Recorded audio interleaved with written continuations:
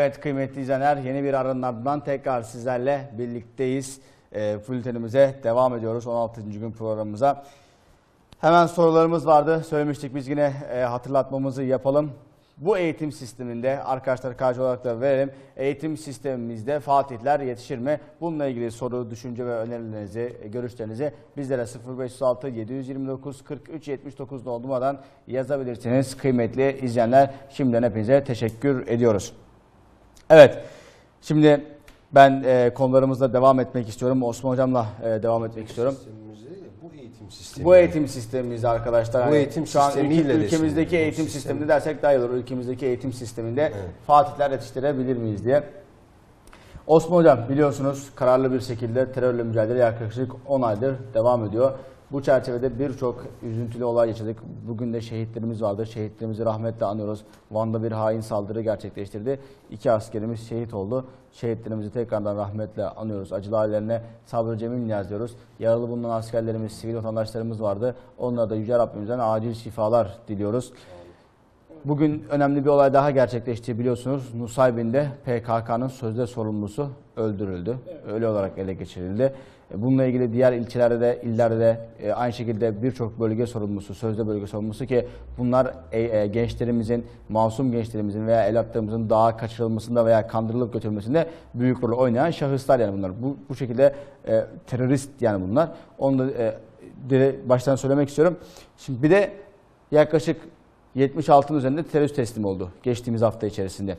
Bunların itirafları vardı. Siz hem bu itirafları nasıl değerlendiriyorsunuz? Ee, Birçok pişman olduğunu dile getirdiler. Ve çağrıda bunları aman sakın kesinlikle gitmeyin. Şunu da söylemek istiyorum not olarak. Aralarında daha 14-15 yaşlarında genç çocuklar var. Kardeşlerimiz yani onlar bizim. Bakıldığı zaman kandırılmışlar, birileri gönderilmiş. Bunun babasına bakıyor. Babası açıklama yapıyor. Ben 2 aydır, 3 aydır, 5 aydır oğlumu bulamıyordum kaçırmışlar diyor. Yani şimdi bir de böyle bir şey var. Her ne kadar bunlar e, terörist eylemlerinde kullandırılmış olsalar da bunu da bir değerlendirmek istiyorum. Yani bu çocukların durumu ne olması lazım? Bunu da değerlendirmek istiyorum. Şimdi- de siz Evet. bu olayları nasıl, genel bakışta nasıl bakıyorsunuz? Şimdi Burak Hocam ben yani bu bunların yaşı kemale ermiş diyeyim yani yaşı belli e, seviyeye geçmiş hiçbirine inanmıyorum. Evet. Bunu açık söyleyeyim yani. Sizden 24 tanesi tutuklandı Yani gerekli olarak. bunların yaşı belli kemale ermiş işte 14-15 yaşlarından bahsediyorum ama hiçbirinin konuşmalarına, itiraflarına, şunlarına bunlara ben inanmıyorum. Madem bu kadar sıkıntılıydı neden bu zamana kadar teslim olmadın? Ya işte belli sıkıntılar vardı, şu vardı, bu vardı. Ben ona da inanmıyorum. Çünkü her teslim olan pişman. Keşke gitmeseydik, şöyle yapmasaydık, böyle yapmasaydık. Her yakalanan pişman. Yani ben bunu kesinlikle işte bir ceza alacaksa bu cezadan indirimini veya işte bir e, siz söyleyin kolaylık olacaksa işte pişmanım derse ne oluyor? Bir pişmanlık yasasıyla beraber bir kolaylık tanınıyor. Şu bu derken tamamen kendilerinin kurmuş olduğu bir düzenbazlıkla beraber bir hareket olduğunu düşünüyorum. Ama gençler olarak tabii 14-15 yaşında çocuklar konuşuyor. Mesela bir kız konuşuyor 14-15 yaşında belki 16 yaşında. Kıza dağda taciz etmişler kızı. Evet. Kızı dağda taciz etmişler. Kaç yaşında? 16 yaşında. Şimdi yani bunun isteyerek orada durduğuna da inanmıyorum yani. Daha yaşı ufak. Ondan sonra tacizlere, tecavüzlere uğruyor. Şimdi bu daha e, burada neden durmak istesin ki? Durmak isteyeceğine inanmıyorum. Ama yaşı kemale ermiş kişilerin kesinlikle ben ifadelerine inanmıyorum. Teröristlerle alakalı ciddi bir şekilde bu ara teslim olmalar var. Çünkü teslim olması ya ölüyor ya da yakalandı mı daha büyük cezalar var. Şimdi teslim oluyorlar. Kendilerine göre belli ifadelerle beraber eee işte yasa, şey yasasıyla beraber işte pişmanlıkta şuydu buydu cezalarında ciddi bir şekilde ne oluyor? İndirim oluyor. Evet. E şimdi bundan yararlanmak için de teslim oluyorlar. Bak ama aynı yerdeyim bu daha kaçırılan veya şey yapan çocuklar için ne yapmıyorum? Konuşmuyorum yani. Bunların itiraflarını değerlendirmek gerekirse bu şekilde değerlendiriyorum. Peki bunların yakalanmasıyla alakalı nasıl değerlendiriyoruz dersek yani bu adamlar teslim oluyorlar, yakalanıyorlar bir şekilde ne oluyor? Bir yerlere geliyorlar. Şimdi böyle değerlendirmek gerekirse de gerçekten e, devlet olarak, hükümet olarak, devlet olarak ciddi bir şekilde bunların üstüne gidiliyor. Ciddi bir şekilde terörle mücadele veriliyor. Ciddi bir şekilde onlara baskı yapılıyor. En son artık e, belli yerlerden kaçamadıkları için teslim olmaya başlıyorlar. Evet. Ama bunu kısa bir ifadeyle değerlendirmek gerekirse geçen e, geçen gün Başbakanımız Binali Yıldırım bir açıklamasında dedi ki terörü gündemden sileceğiz. Evet. İlk açıklamasında. Biz de o gün haberlerde şu ifadeyi kullandık. Yani terörü gündemden silmek mi istiyorsunuz? Evet. Şimdi dedik Fethi'nin yaklaştığı bu günlerde. Şimdi bugün Fethi geçtik. Ama Fethi'nin e, bulunmuş olduğu bu günlerde. Fethi geçirmiş olduğumuz diyeyim şu günlerde bir kez daha şunu söylemek istiyorum. Yani Fatih İstanbul'u fethetti doğru ama bir Akşemseddin'i var mı? Vardı. Bir hocası var mıydı? Vardı. Şimdi eğer bir hocaya hocayla beraber hareket edecekseniz yani eğer fethetmek istiyorsanız İstanbul'u, Türkiye'yi, dünyayı fethetmek istiyorsanız buna mecbursunuz. Bir hocayla beraber hareket etmek zorundasınız. Bir Allah dostuyla beraber hareket etme durumundasınız. Şimdi bu konuda Efendi Hazretlerimiz buyuruyor ki terörist, terörle alakalı sorulduğunda ne diyor? Zina, zina, zina. Eğer bu ülkenin gündeminden siz terörü silmek istiyorsanız o zaman bu zinaya ne yapacaksınız? Dikkat edeceksiniz. Yoksa buradakini temizlersiniz, buradan çıkar. Buradakini temizlersiniz, buradan çıkar. Buradakini temizlersiniz, buradan çıkar. Bu ülkeden bu şuuru alıp bu zina meselesini kaldırmanız lazım. Evet. Yani Allah'a, peygambere inanan insanlarsınız. Mevla Teala belli yerlerde insana ne yapar? Mükafat verir. Belli yerlerde de imtihan olarak, tokat olarak başka şeyler verir. Eğer sen Mevla ile arayı tutarsan Mevla zaten bunları buradan temizleyecektir ya. Mevla zaten bunları temizleyecektir. Sana bu konuda zaten yardım edecektir. Ama Mevla ile iyi tutmak için e, gençliğin durumuyla alakalı. Yani ben hem buraları temizleyeceğim, hem rahat bir yaşantı yaşayacağım, hem e, Avrupa'yı zihniyette yaşayacağım. Gençlerimiz perişan durumda olacak, ailelerimiz perişan durumda olacak. Hem de hem de huzur içinde, ülkemde huzur içinde olacağım. İşte terör olmayacak, hiçbir şey olmayacak. Oo sen dünyada cenneti arıyorsun yani. Dünyada cennet yok. La rahate fit dünya. Dünyada rahat yok. Eğer sen kuvvetli bir şekilde bu şeriat sistemiyle yani İslami sistemle güzel bir şekilde hareket edersen eğer zina, zinalara işte alkole ve bunun gibi Mevla'nın yasaklamış olduğu şeylere dikkat edersen Mevla Teala sana yardım edecek. Sen de bu terörü ne yapacaksın? Temizleyeceksin. Ama şunu kesinlikle unutmayın. Allah dostları bir ifade söyler. Bu ifadeyi dinlersen büyük kazanırsın. Ama o ifadeyi dinlemezsen söylemeseydi daha iyiydi. Çünkü o ifadeyi söyledi, sen de dinlemedin diye daha büyük tokat yersin. Bunu da kısaca not olarak düşelim terör olaylarında. Evet hocam. Evet hocam. Ee, fetih konusunda tabii değerlendireceğiz konularımız arasında var. E, hepinizden ayrı ayrı bu konuyla ilgili e, görüşlerinizi isteyeceğim hocam. Tabii onu da son dakikalarımıza doğru aktarmak istiyorum daha geniş konuşmak için. Şimdi ben gelen yine hocam birçok mesajımız var. Bir tanesi çok hoşuma gitti. E, bir kardeşimiz bu eğitim sistemi, ülkemizdeki eğitim mevcut eğitim sisteminde Fatihler yetiş- yetiştirebilir miyiz diye sorduk. Şunu söylemiş kardeşimiz. Mevcut eğitim sisteminde ne Fatih Allah aşkına o dönemin normal insanını yetiştiremeyiz demiş. Yani bırakın Fatihleri normal insanını yetiştirebilmeyiz, yetiştiremeyiz. Haksız mı hocam? O gün Fatih Sultan Mehmet Han Hazretleri tebdilli kıyafetle bir dükkana girdiği zaman ben aldım, ben istafı, e, istiftahımı yaptım. Yanındaki kardeşime git diyen bir esnafımız şu an var mı hocam? Şimdi zamanında Evet. bir mizah şeyi olsun. Ortam biraz yumuşasın. Yavuz Sultan Selim tabi ufak tefek şeyler olabilir. Mazur görün. Yavuz Sultan Selim Han eee, bir tane şey getirmiş. Yani işte biri böyle bir demir getirmiş. Demiş ya demiş çok demiş büyük padişah olduğunu söylüyorsun demiş ya. Çok demiş kuvvetli olduğunu söylüyorsun. İşte dünyaya meydan okuyorsun. Şöyle yapıyorsun. Bük demiş bu demiri. Yavuz Sultan Selim bakmış şöyle. Demiş ki bunda ne var demiş ya. Bunun demiş bizim aşçı büker demiş ya. Çağırın bizim aşçıymış. Aşçı da bir gelmiş iri yarı bir adam. Almış demiri tak diye bükmüş. Şimdi o hesap. Eğitim sisteminde diye. Eğitim sisteminde ne diyor Fatih Allah aşkına diyor o dönemin diyor normal insanı yetiştiremeyiz. Doğru söylemiş. Gerçekten doğru söylemiş. Evet e, hocam ben devam etmek istiyorum sorularımızda. Selma hocama devam etmek istiyorum.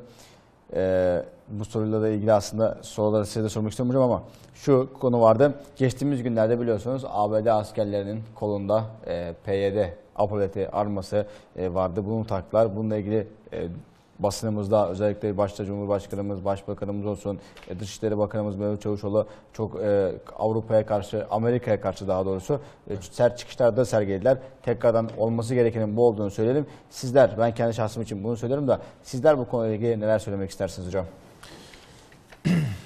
Öncelikle ABD'nin ne halt olduğunu, ne e, derecede bize karşı senelerdir yapılan e, ve Müslümanlara karşı yapılan zulmün arkasında olan ABD'yi neden hala görünmez olduğunu, neden hala insanın anlaşılmaz olduğunu soruyorum. Ardından diyorum ki ben bunları zaten böyle yapmasına da şaşırmıyorum. Neden şaşırmıyorum? Çünkü bunların amacı belli. Yapacağı iş belli. Yaptıkları şey belli. Mazluma zulm, zulmetmek. Şimdi biz PYD'ye PYD diyoruz ki terör örgütüdür diyoruz Türkiye olarak. Neye? Müttefikim yani ABD'nin müttefikiyiz güya. Güya böyleyiz. Güya dostuyuz. Ne diyoruz? Diyoruz ki PYD, YPG terör örgütüdür diyoruz. Evet. Zamanında PKK'da olduğu gibi. Bunlar PKK'ya da terör örgütü demiyorlardı zamanında. Ne yaptılar? Sonradan sonradan işte PKK baktılar ki suyu çıktı. Hiçbir şey nane olmuyor bundan. Şimdi PYD, DAEŞ işte Suriye'de olan terör örgütlerini ortaya çıkardılar. Bu şekilde Türkiye'ye darbe vurmaya çalışıyorlar. Şimdi burada aslında çok büyük saygısızlık var.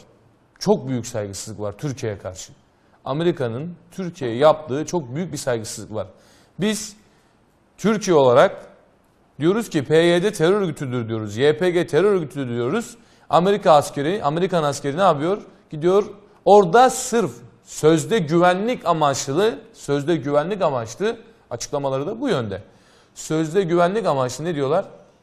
İşte e, biz güvenliğimizden dolayı bu bu armayı taktığımızı işte beyan ediyoruz. Böyle bir şey mi var ya?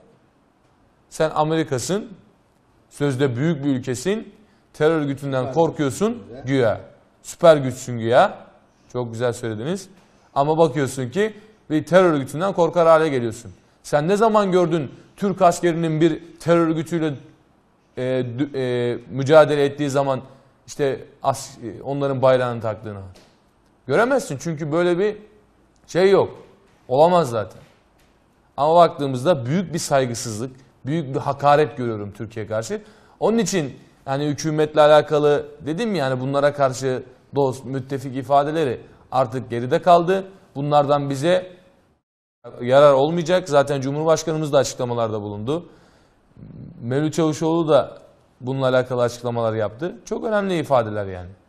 Bize bir yararı olmayacak bunların. Ee, bunların derdi belli. Bizim bizden başka dostumuz yok dedi fetih şöleninde Cumhurbaşkanımız. Çok doğru söyledi. Bizim bizden başka dostumuz yok. Onun için hükümetle alakalı da söylediğim şey dostluğumuzu, düşmanımızı iyi bilmemiz gerekiyor. Buyurun hocam. Çok teşekkür ederim hocam. Allah razı olsun açıklamanız için. Sizlerin söylemek istediği var mı hocam? Bu konularda hemen e, kısa bir şekilde alabiliriz. Çünkü bu da önemli bir konu. Aslında e, bizim için şaşırtılan bir, şaşırtılan bir durum değil hocam yani. Bunlar ister bu aparatı taksınlar veya takmasınlar çok da farklı bir durum değildi. He, dedi, yani şunu söyledi hocam. Hani hocamızın da Selma hocamızın söylediği gibi hani bu bir bu bir stratejidir. Biz bir strateji olarak bunu dünyanın birçok yerinde farklı zamanlarda uygulanmıştır. Ama e, sonuçta bir başarı gelmiştir hep. E, Bir baş, bunda hiçbir şey başarı da yok. Hani bir strateji uyguladın sonra yeni berbat gerçekten gerçekten diyelim ki öyle bir durum yok da DAEŞ'e karşı bir mücadele verdin. O zaman zaten bu çıkışlar yapılmaz sana. Ama senin buradaki amacın farklı. Özellikle ülkemizi hedefe koyduğu zaman sen bizim sınırlarımızı, sınırlarımızı terör örgütlerine teslim etmek istiyorsun. Açık ve net. Maalesef. Var mı hocam söylemek istediğiniz yoksa devam edelim diğer konularla? Ya aynen yani işte bak ne güzel rengini belli etti. Ee, ama ben şimdi neyi merak ediyorum biliyor musunuz? Bu saatten sonra bakacağız yani. Şimdi bir hareket yap- yaptı. Hemen şey yaptık. Ya bu adamların hareket yapmasına gerek yok ki. Geri adım da attılar hocam. Bunların komutanı işte güya generallerinden bir tanesi işte uygunsuz bir hareketti. Açıklaması da bu yönde. Yani hiç de inandırıcı değil. Çok e, dalga geçici bir ifade Ama edildi yani. PYD'ye de şunu söylemek lazım buradan tabii. Amerika herkesi satar yani. Bir gün sizi de satacak yani. Onu da bilsinler buradan onu söyleyelim yani. Evet kesinlikle. Evet hocam bu konuyu da böyle geçmiş olduk. Gelelim Fransa'daki olaylara hocam.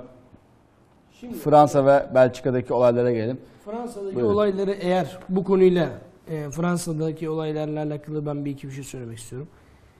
E, Fransa'daki olayları buraya bağlarsak aslında şimdi zamanında bu bugün PKK'ya, PYD'ye laf söylemeyenler zamanında Gezi Parkı olaylarında da e, yine laf söylemeyip hatta o kesimde yani onların arkasında duranlardı. Yani bu devleti, e, bu hükümeti darbe girişiminde bulunanların arkasında bulunanlar, bunlara her türlü maddi manevi destek olanlar ve bunu e, biliyorsunuz hocam Gezi Parkı olaylarında en çok Almanlar, işte e, Alman provokatörler, ondan sonra işte e, Fransızlar, şey Yunanlar, şunlar bunlar hep meydandaydılar.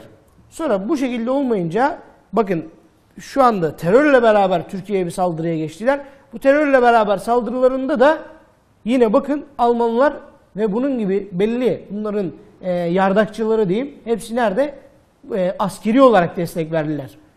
Sırplar sniperlarla şunlarla bunlarla ne askeri olarak destek verirler. Şimdi Fransa'daki olaydı. Bak bunların başına ne geldi?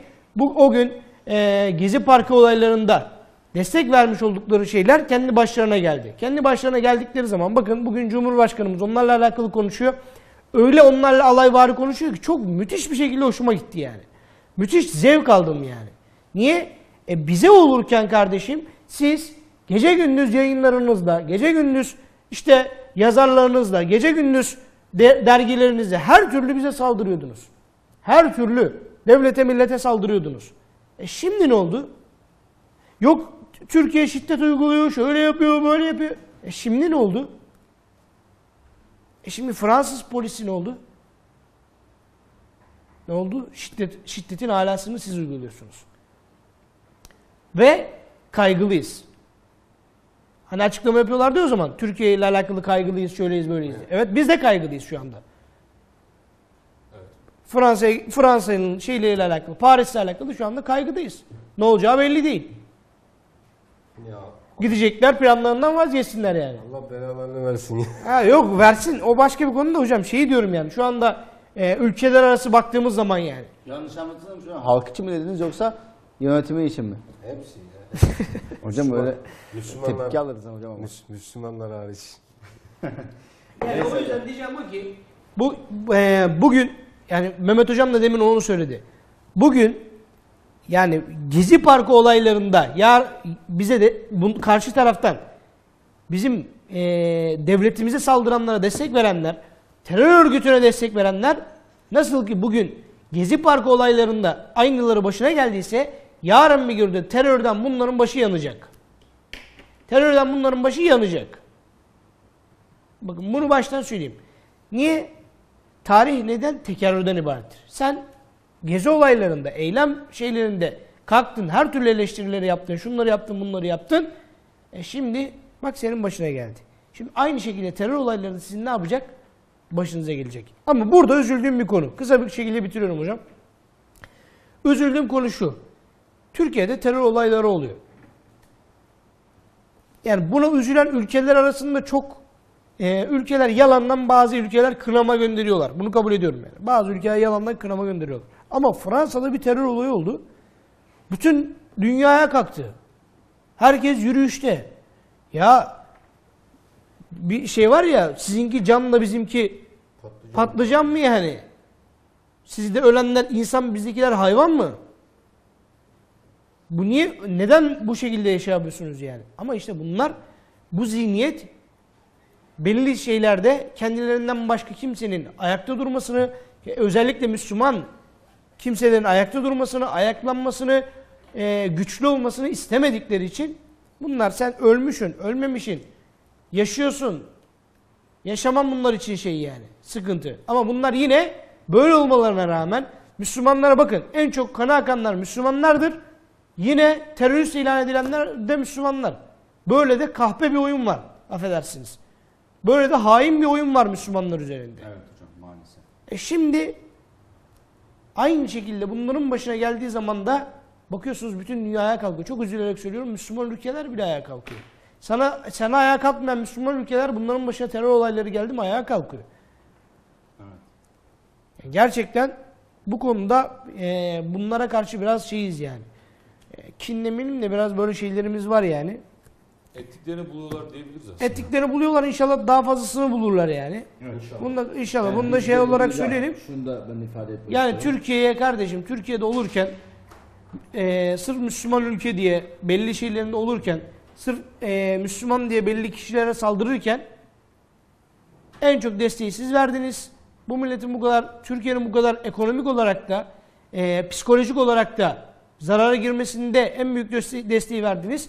O zaman kardeşim biz de bugün yani üzülüyoruz üzülüyoruz değil hatta kaygı, kaygılanıyoruz yani. Burak hocam kaygılanmıyoruz ya ne oluyorsa olsun. Yani Bitirsinler, yesinler ya, birbirini. ha, gitmesinler yani. Millet gitmesin yani. Yani biz burada Allah belalarını versin derken şu Endişeliyiz. şunu, şunu şöyle ayıralım yani. Eğer Mevla Teala Hazretleri bunların hidayetleri mukadderse illa aralarında hidayet olacaklar vardır. Rabbim onları korusun deriz biz. Anlatabiliyor muyum? Hidayeti mukadder olanlara hidayet eylesin ve muhafaza eylesin deriz. Ama kardeşim ya artık şun, şu hikayeleri bırakın. Biz Müslümanız. Müslüman, Müslüman. Ya hocam işte onlar falan filan insan insan falan filan şöyle böyle. Kardeşim bu adam seni gerçekten gerçekten bak yapabileceği bir ortamda yakalasın bir kaşık suda boğar seni. Bir kaşık suda boğar seni, bir kaşık suda boğar. İşte inanmıyor kimse hocam buna biliyor musunuz?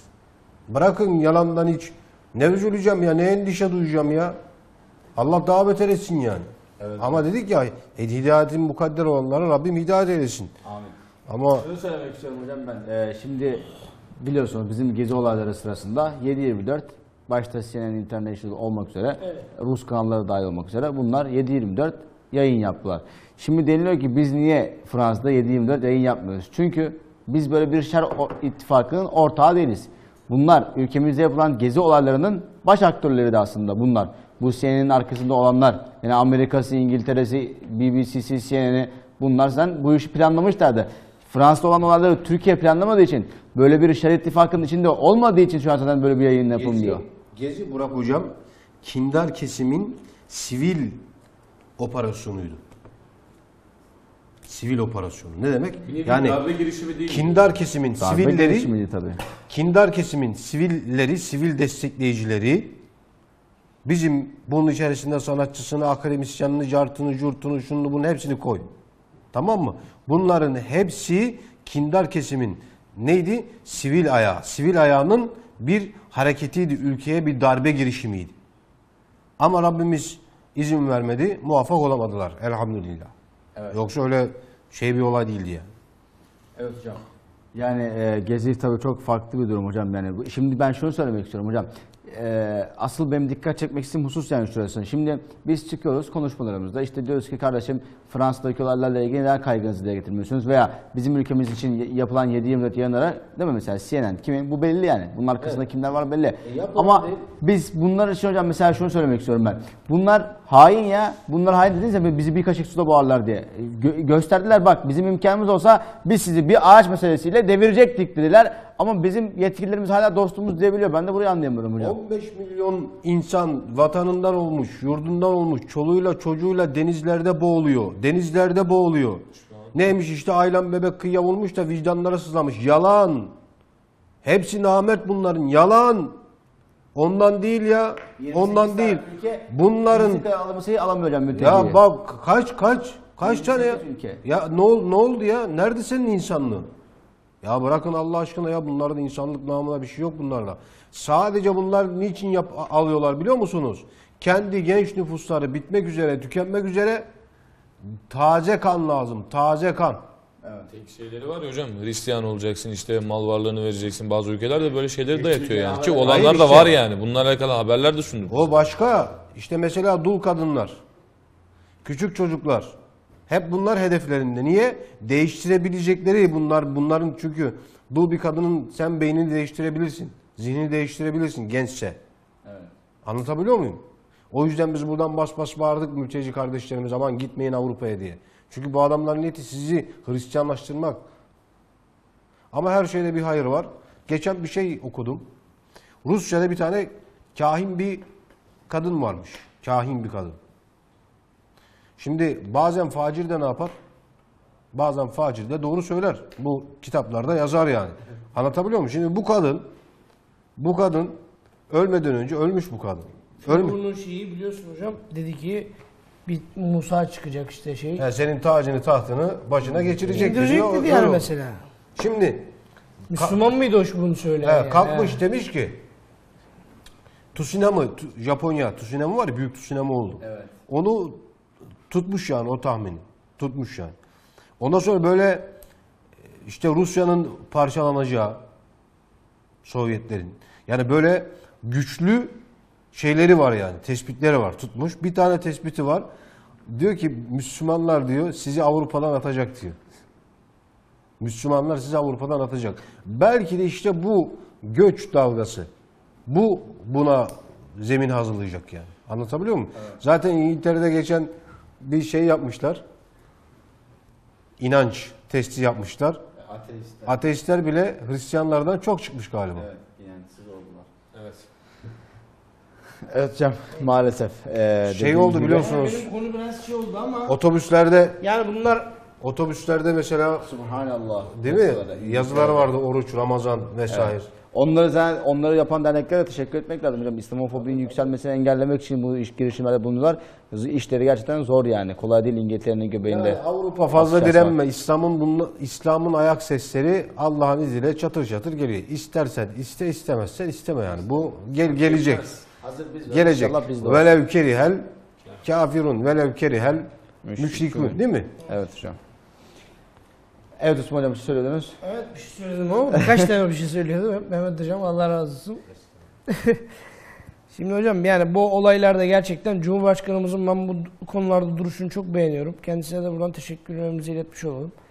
Yani gerçekten bunlara karşı mesela e, eskiden Türkiye'de Cumhurbaşkanları, Başbakanlar bunlara bir şey söylemeye şey yapıyorlardı yani. Elleri ayakları titriyordu. Bunlara bir şey söyleyemiyorlardı yani. Şimdi bak bugün Cumhurbaşkanımız çıkmış bunlarla makara yapar gibi, alay geçer gibi bunlarla konuşuyor. E, bu da bize hoşnut etti yani. E, İnşallah diyoruz yani e, kafirlerin daha da hezimete uğradığını hep beraber göreceğiz. İnşallah. Evet son dakikalarımıza doğru geliyoruz hocam. Yani son dakikamız derken yine bir yarım saatlik bir süremiz var da fetih konusunu inşallah ben değerlendirmek istiyorum. Hepinizden ayrı ayrı e, konular almak istiyorum. E, bu asıl girdiğimiz olay teröristlerin itiraf konusuydu hocam ama bugün Demirtaş'ın da biliyorsunuz hadsiz hadsiz e, açıklamaları vardı. İnşallah biliyorsunuz bu 15 gün içerisinde dokunulmazlık dosyaları geçti. Bunu da söylemiş oldum yani 15 gün içerisinde 16 gün içerisinde bunlar hep gerçekleşti. Benim hocam buradan ben Cumhurbaşkanıma seslenmek istiyorum. E, sizin de müsaadenizle birlikte. E, geçtiğimiz gün biliyorsunuz Cumhurbaşkanı bir açıklama yaptı hocam. Dedi ki biz kendimiz kendimize yetmeliyiz. İslam alemi olarak, Müslümanlar olarak Avrupa'ya ihtiyacımız yok. Bunlar bakın zalimler, bunlar hainler, bunlar bize bir yudum su vermezler. Bunları ifade etti ve şu ayeti kerime okudu. Dedi ki innemel mü'mine ihvetun. Yani inananlar ancak kardeştir. Bu ayeti kerimeyi okudu. Şunu söylemek istiyorum ben başta. Şimdi Cumhurbaşkanımızın şahsına veya ailesine hakaret edildiği zaman kesinlikle tasvip etmiyoruz. Olmamasını istiyoruz. Çünkü şu an Cumhurbaşkanımız e, milletin temsil en yüce temsil makamıdır hocam. E, Cumhurbaşkanına yapılan bir hakaret onu sevsek de sevmesek de veya siyasi görüşünü benimseyelim veya benimsemeyelim hiç fark etmez. Veya kurmuş olduğu partiyi benimseyelim benimsemeyelim hiç fark etmez. Sonuçta bu adam Cumhurbaşkanıysa bizim Cumhurbaşkanımıza bir saygı duymamız lazım. E, kötü işleri varsa dua etmemiz lazım düzelmesi için. E, hayır işler yapıyorsa tebrik etmemiz lazım. Yine dua etmemiz lazım. Arttırsın diye Rabbimiz. Bizim inancımız bu şekilde. Şunu söylemek istiyorum ama sanki biraz sessiz kalındı. Şimdi Cumhuriyet Gazetesi e, bu şu başta attı hocam. Dedi ki Recep Tayyip Erdoğan bölücülük yapıyor. Referansı da ayeti kerime dedi. Yani ancak inananlar kardeştir demesi Cumhurbaşkanımızın bu ayet-i kerimeyi okumasıyla birlikte böyle bir algı, böyle bir hassiz açıklamaya çıktı. Yani burada asıl hakaret etmiş olduğu bizim Cumhurbaşkanımız değil. Bizim ayet-i kerimemize yani ayet-i kerimemizin yani Rabbimizin bizler arasında, insanlar arasında bölücülük yaptığını ifade etti. Yani çok hassiz bir ifade. Bizim Kur'an'ımıza laf attı. Bizim ayet-i kerimimize, Rabbimizin hükümlerine bu adamlar düz attı. Ama sessiz kalındı hocam. Yani Cumhuriyet Gazetesi'nin yapmış olduğu bu hassiz çıkışlara her zaman bir cevap verilirken işte görüyorsunuz bakın ne biçim medya kuruluşları var. Bunlar bu kadar hain, bunlar bu kadar cibiletsiz denilirken ayeti kerimeye karşı yapılan bu yani bilmiyorum yoğun gündemden dolayı mı geçiştirildi biliyorsunuz fetih kutlamaları vardı. E, kongreler mongreler derken bayağı bir yoğundu. Acaba diyorum hani yani geçiştirildi mi yoksa gerçekten görülmedi mi? Görmez yani bir anda öyle kayboldu gitti mi yani hocam? Buradan seslenmek istiyorum hani Sizin sayenizde görülecek işte. inşallah yani diyorum ki bu bunlara hocam Kelimeyi, ayet-i kerimeyi Burak Hocam burada yanlış anlıyorlar. İnnemel müminne ihvetün demek. Müminler kardeş demek. Sen mümin olmayanın dışındakileri insandan sayma manasında değildir o. Veya sen hemen onları git Hocam öldür. gerçekten yanlış mı anlıyorlar yoksa Öldür. anlıyorlar da işlerine gelmedikleri gibi ondan dolayı mı ifade Tabii kullanıyorlar? yani bir kısmı da senin dediğin gibidir yani işine gelmediği için öyle. gelmediği. Burada bir ayrımcılık ayrımcılık yok. inanamıyorum ya. Anlamadıklarından değil yani bu kadar hocalar. Ayrımcılık ayrımcılık yok. Hayır işte an, yani mi biz yani? hani an- anlamayanlara anlasınlar babından a- anlatmış olalım. Yani innemel müminun ih- ihve derken orada müminler kardeş derken yani o Müslümanları bir kenetleme hedefinde bir ayet-i kerimedir. Kenetlenin. Ama bu Müslüman olmayanlara da e, kötülük yapın manasında olan bir ayet-i kerime değil bu ki gerçekten bir Müslüman kafir de olsa hiçbir insana ne yapmaz? Kasti olarak kötülük yapmaz. Bırak şimdi yalandan sen kendini kandırma oralarda yok işte falan ayrımcılık ayrımcılık. Ulan ayrımcılığın babasını bu ülkede siz yaptınız senelerce. Hala He? sorunu diyorsun. He, irtica, irtica, irtica diye siz bu pro- profesör olmuş, başbakan olmuş insanları bu ülkede karaladınız. Ne entrikalar çevirdiniz. Takınyacı diye lakaplar taktınız. Yapmadılar mı? Ya bırakın ne yalandan. Yok efendim ayrımcılık yapıyor musunuz? La ayrımcılığın babasını siz yaptınız. Hala yapıyorsunuz. Hala yapıyorsunuz. Ne alakası var? Bu zamana kadar bu insanları siz ittiniz hep. Siz ittiniz. Bu insanlar samimi şekilde size yaklaşmaya çalıştı. Yapmayın dedi, etmeyin dedi. Bak sizin gittiğiniz bu yolla, taşıdığınız bu düşünceyle, bu şuurla bu memleket bir adım ileri gitmez. Gitmedi. Gitmeyecek. Ne oldu? Size bunu söyledi yani. Gelin Evet. Rabbinize dönün. Özünüze dönün. Sizden netice Osmanlı'nın torunusunuz. Ama Mahmut Osman torunu olduğunu inanmıyorum hocam. Değiller, kabul etmiyorlar hocam sizden. Bize Osmanlı torunu izlemiyorlar yani. Aslında Osmanlı ile aramıza biz çizgi koymamız lazım diyorlar yani. Ya ben hani Müslümanların hüsnü zat, iyi, Müs- iyi, niyet, Evet. iyi niyet olarak. Anladın mı? hüsnü Yok ben iyi sizin niyet- için demedim, onlar için Yok diyorum yok hocam. iyi niyeti yoksa kimin Adam torunu kabul etmiyorsa zorla da Müslüman yapacak değiliz yani oldukları hocam. çok da ilgilendirmiyor açık konuşayım yani. Evet, Mülteci ya. evet Adam hocam. Milleti Müslüman. Maşallah hocam. Adam irtica diyor, şöyle diyor, böyle diyor. Ya Şeriat o zamana dedim mi kadar siz kaçıyor. yapmadınız mı ya? Siz yapmadınız mı? Na- namaz kılan liseli öğrencileri, namaz kılan liseli öğrencileri ha, manşetlerinize atmadınız mı? Manşetlerden atmadınız mı? Televizyon programlarınızda gidip oranın müdürünü, okulunu fişlemediniz mi? Siz yaptınız bunları bu ülkede. He? Senelerce başörtüsü yüzünden insanlara ne zulümler yaptınız? Kim ayrımcılık yaptı? Siz yaptınız ya. Senin zihnindeki adamlar yaptı bunu. Evet. Hala var. İmam Hatip okuyan, değil mi? İnsan bugün askeriyeye giremiyor. Nane ayrımcılığın babası bu. Maalesef. İmam Hatip'te okuyan bir genç ile normal bir okulda okuyan genç arasında ne fark var? Biri asker olabiliyor, komutan, subay neyse, öbürü olamıyor. Ne, ne fark var? Bırak olsun. Neden korkuyorsun sen? Ya hani ayrımcı değildin sen? Çağdaş insandın sen. Ne oldu? Kesinlikle. Bir de biliyorsunuz geçtiğimiz aylarda çok çok tartıştık. Namaz kıldıkları için, ODTÜ'de, mescitlikleri için e, kardeşlerimizi dövdüler. Bunları hiç medyaya taşımadılar. Siz bu insanlar sadece namaz kılmak istediği için niye dövüyorsunuz demediler. Bir de o teröristlerin yanında oldular. Sen tutmuşsun Müslümanları birbirlerine kenetlemek maksatlı, hedefli, amaçlı tefsirine baktığın zaman o onu göreceksin yani. Siz kardeşsiniz. Ne demek? Birbirinize kenetlenin, birbirinize yanlış yapmayın. Ah biz o ayet-i kerimeyi bir yaşayabilsek bak bakalım sen salyalarını böyle istediğin gibi savurabiliyor musun etrafa? Hocam bu konuya burada nokta koyalım. Son 15 dakikamız kaldı. İnşallah 5'er dakika olmak üzere ben sizin fetih düşüncelerinizi almak istiyorum. Ee, Osman Hocam'la inşallah başlayalım hocam. Biliyorsunuz hem e, fetih kutlamaları vardı. Başta İstanbul olmak, Yenikapı olmak üzere Türkiye'nin birçok yerinde farklı farklı organizasyonlarla fetih coşkusu tüm halkımıza yaşatılmaya çalışıldı. Ee, Yeni Kapı'daki mitingde, e, miting alanında yapılan fetih şöleni gerçekten görülmeye değerdi. Yani bunu dünya üzerinde de ses getirmesi gerçekten mükemmeldi. Benim açımdan ben böyle düşünüyorum. Sizler neler düşünüyorsunuz hocam? Burak hocam, Osman hocamdan da özür diliyorum. Şunu söyleyeyim de. Şimdi Buyurun e, biliyorsun şimdi kanlım olacak şey bu iş kansız olmayacak diye Evet. bunların siyasi liderleri şu an piyasada dolaşıyor. Bu iş kan, kanlı olmayacak, kansız olmayacak bu iş. Evet. Can, hani ca- her türlü fedakarlığı vereceğiz kafasında. Ya sen şimdi neyin kafasını yaşıyorsun? Nasıl bir sistem bu? Nasıl bir kin var senin içinde? Bak sen ayırmışsın insanları ne diyorsun? Sırf Müslüman bir insan başkanlık sistemiyle başa gelecek diye böyle ayaktırıyorlar ha bu işi. kesinlikle hocam. Ondan sonra çağdaşlıktan bahsediyorsun. Ulan kan dökeceğiz diyorsun, çağdaşlıktan bahsediyorsun. Onların onların reisi değil mi bu? Onların reisi değil mi? Evet evet. Yani her ne kadar farklı farklı şekillerde gelmiş olsa da şu an reisimiz diyorlar. Eğer reis olarak kabul ederse bu sözlere de bu ithamlara da e, biraz Özür dilerim hocam. Al- alınmayacaklar yani. Buyurun hocam.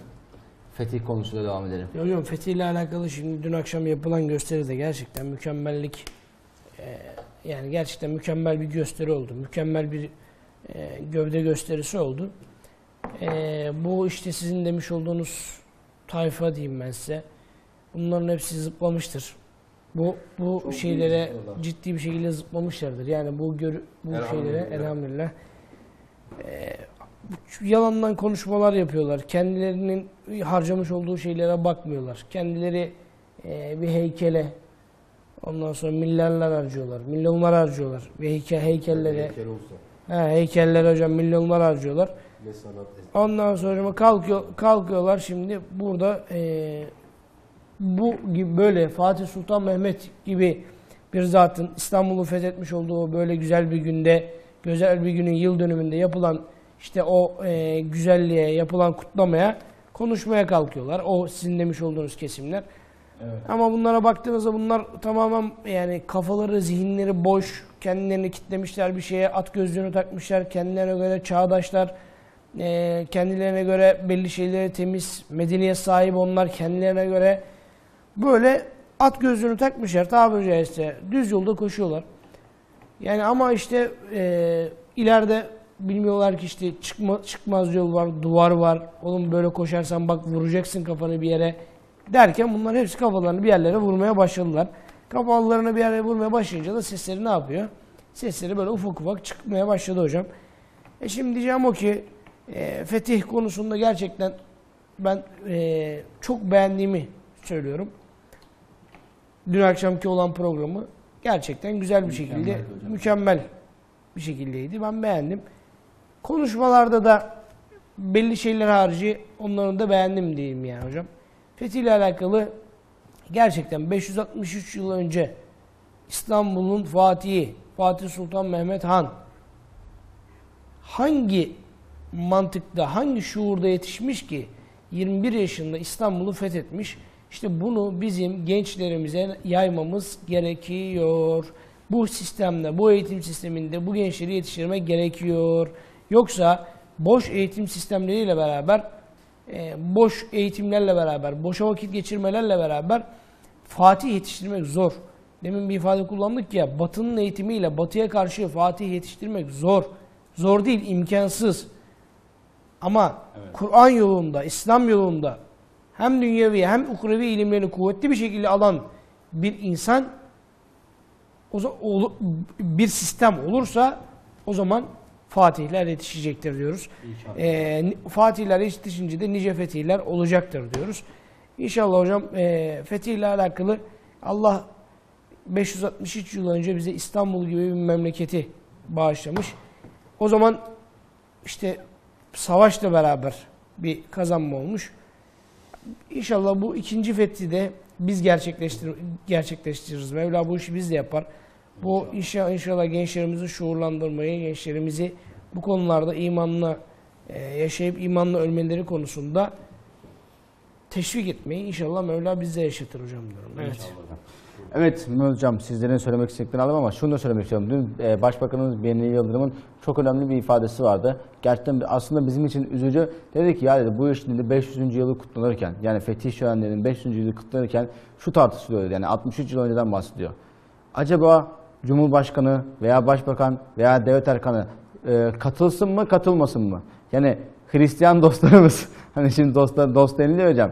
Yani bizim için değil yanlış anlaşılmasın da birileri şimdi dostum diyor bunlara. Hani Hristiyan dostlarımız acaba bize ne der mantığında olanlar da vardı hocam bu ülkede. O, o sistemden bu sisteme geldik. Yani düşünebiliyor musunuz ya sizin ülkenizdeki bir cumhurbaşkanı, bir başbakan, devlet erkanı fetih kutlamalarına acaba katılalım mı katılmayalım mı? Avrupa bize ne der katılırsak? Katolikler bize ne der? Hristiyanlar bize ne der? Yahudiler, emperyalistler bunlar bize ne der diye düşünülüyormuş. Öyle düşünen bir Türkiye'den böyle program yapan bir Türkiye'ye böyle gövde gösterisi yapan işte bu Avrupa'ya olsun e, dış güçlere olsun içerideki İrlandalılara içerideki Fransızlara içerideki Amerikalılara gerçekten büyük bir gövde gösterisiydi. Umarım böyle bir kişi bu, böyle insanlar seyrediyordur şu anda Ç- çatır çatlıyordur diyorum ben inşallah seyrediyordur. Yani inşallah artık şey rüzgar döndü yani. Evet, inşallah. Bak altını çiziyorum. 21 yaşında. 21 yaşında. Tamam. Yeryüzünün görmediği savaş taktikleri. Toplar.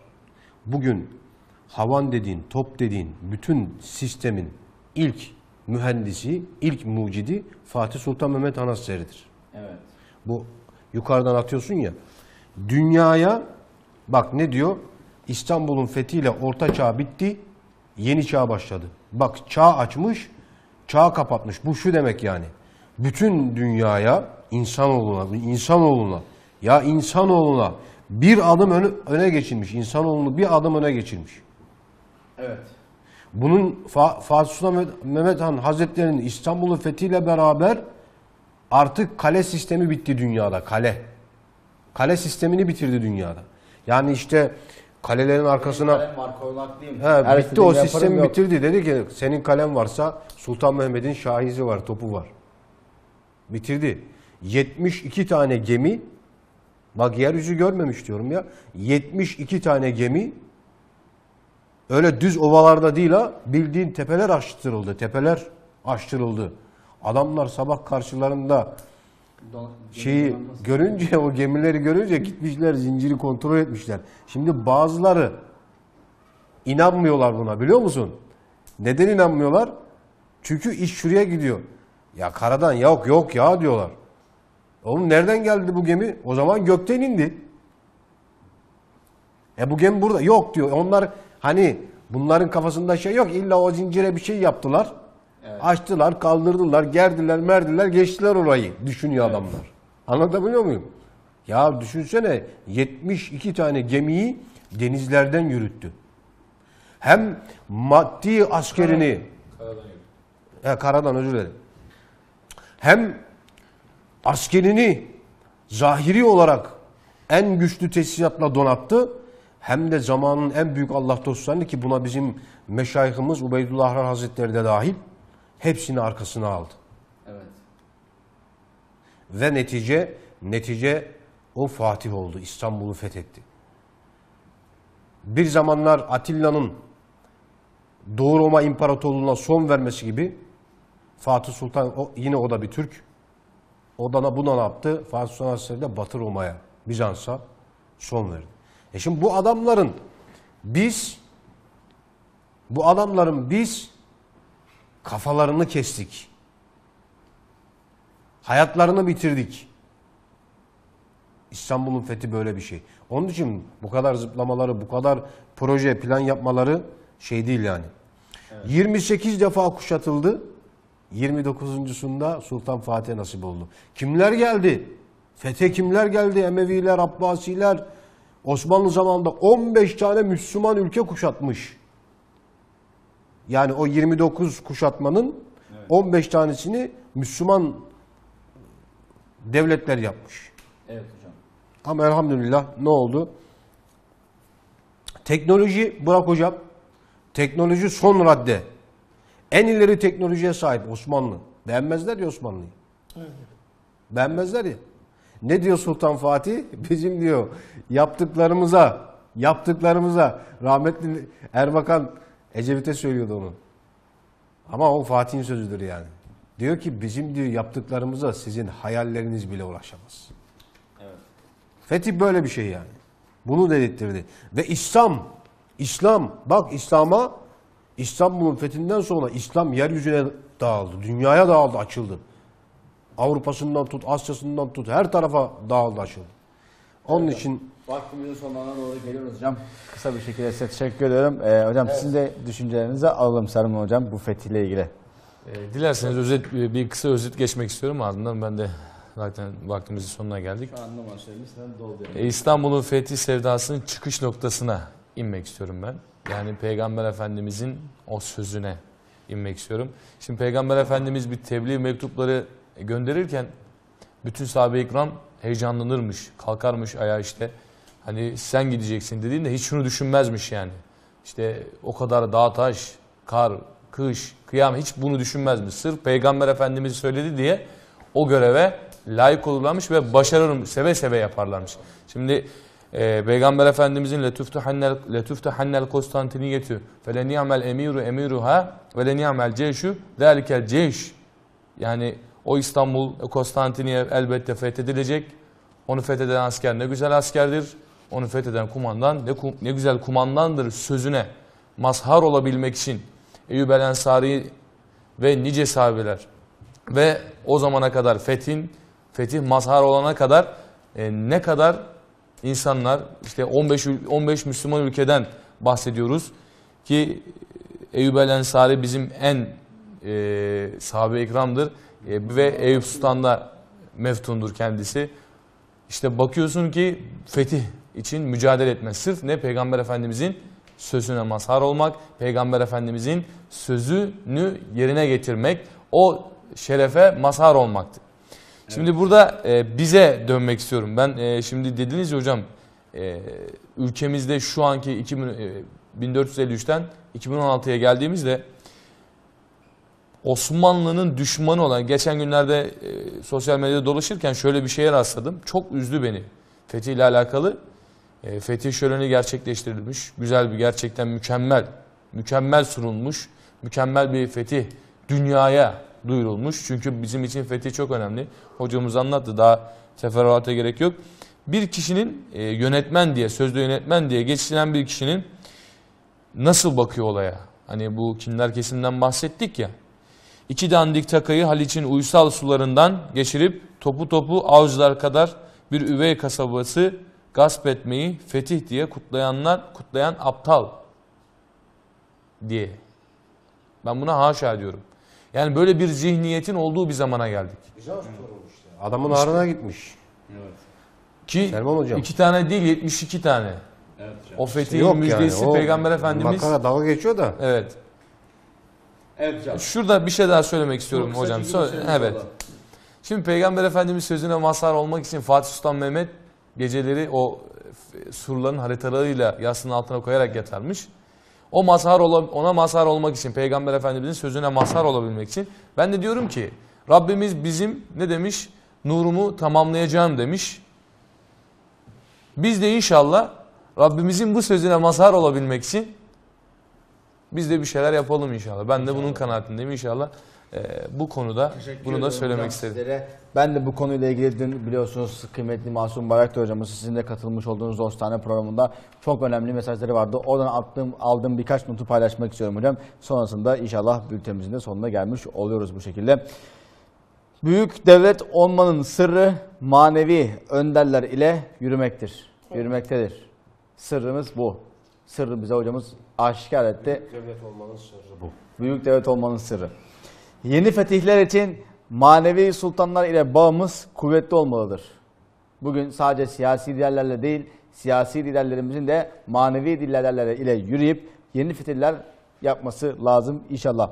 Ve e, en hoşuma gidenlerden bir tanesi de bu e, her ne kadar e, gayrimüslimlere değil de biraz da kendimize yani bizlere söylemiş hocamızın müthiş bir cevabı var. Yeni dünya üzerinde sarık ve cübbe hani cübbenin olmadığını savunan bakın Müslümanlara sesleniyor hocamız. Diyor ki çağ açıp çağ kapatan Sultan Fatih Hazretleri'nin başında sarık üzerinde ise cübbe ve şalvar vardı. Değil mi? Bugün resimlerde görüyoruz. Buna itiraz olan bir kişi bulamazsınız diyor hocamız. Yani bir tane insan bunu çıkaramazsınız karşımıza. Yok Sultan Fatih sarık takmıyordu, cübbe giymiyordu. Demek ki neymiş? Yani sizin uzaya bir uydu göndermenize veya şahit toplar yapmanıza bizim başımızdaki sarık engel değilmiş. Senin ilmine de senin bilmine de ne benim üzerimdeki cübbem ne kafamdaki sarık ne benim sakalı şerifim ne şalvarım yani sünnet-i seniyeye uygun kıyafetim buna engel değilmiş. Biz bunu hepimiz iddia ediyoruz değil mi? Buna hiç kimse hayır diyemiyor. Peki hocamız şunu soruyor. O zaman peki biz ecdadımıza ecdadımızın manevi mirasına hakkıyla sahip çıkabiliyor muyuz? Bugün fetih şölenlerinde hepimiz değil mi? Ecdadımızın mirasına sahip çıkacağız. Amenna. Bugün İstanbul bizde. Topraklar hala işgal edilmeye çalıştığı halde edilemedi. Şükürler olsun halkımız değmesin mabedimin göğsüne namahrem dedi. Bu vatanı savundu. Ama manevi olarak bu savunmayı gerçekten yapabiliyor muyuz? Benim son mesajım bu hocam buradan hocamızın sözleriyle iyi, bunun yorumunu da seyirci kıymet, e, kıymetli seyircilerimize bırakıyorum hocam. Sizlere hocam Osman hocam teşekkür ediyorum. Mehmet hocam teşekkür ederim. Selma hocam teşekkür ederim. Seyircilerimiz adına teşekkür ederim. Sadece 16. gün programı için değil hocam. Birçok programda konuk oluyorsunuz, program yapıyorsunuz. Osman hocam her gün ana haber bülteninde. E, Selman hocam yine manşetten millete. Sadece burada değil 7-24 bu yani şu ekranların perde arkasındaki arkasında burada hocalarımız bu FM TV'de yani katkıları olduğu için bu programların yapılmasında katkıları olduğu için hepsine tekrar tekrar canı gönülden ben teşekkür ediyorum. E, kıymetli yönetmemize, gelenlerimize, e, Sayın Ahmet Güngör hocamıza da buradan teşekkür, teşekkürlerimi iletiyorum. E, bu kanalın açılmasında büyük emeği geçen e, kıymetli Masum Bayraktar hocamıza da teşekkür ediyorum. E, inşallah bir sonraki 16. gün programında buluşmak dileğiyle diyemiyorum. Çünkü hocalarımız zaten diğer programlarda sizlerle buluşuyor inşallah. Hocalarımızla buluşmanız dileğiyle diyorum kıymetli izleyenler. Hepinize Allah'a emanet ediyorum. Esselamu Aleyküm ve Rahmetullahi ve Berekatuhu.